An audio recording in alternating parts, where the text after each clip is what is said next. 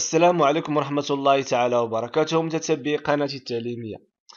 آخر الأخبار تقول أن هذا آه، الأسبوع هذا اللي غندخلو فيه إن شاء الله فيه ثلاث أيام ديال الإضراب.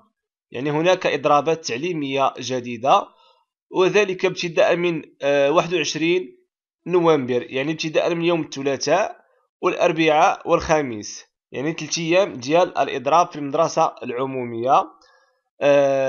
ابتداء من يوم الثلاثاء 21 نوفمبر والأربعاء 22 نوفمبر والخميس 23 نوفمبر. إذا كما قلنا أنا الدراسة في المدرسة العمومية غتوقف عاوتاني هذا الأسبوع هذا لمدة ثلاثة أيام وذلك لإضرابات آه، ستعرف سيعرفها القطاع ديال المدرسة العمومية والقطاع ديال التعليم. هذه هي آخر الأخبار وبالتوفيق للجميع إن شاء الله.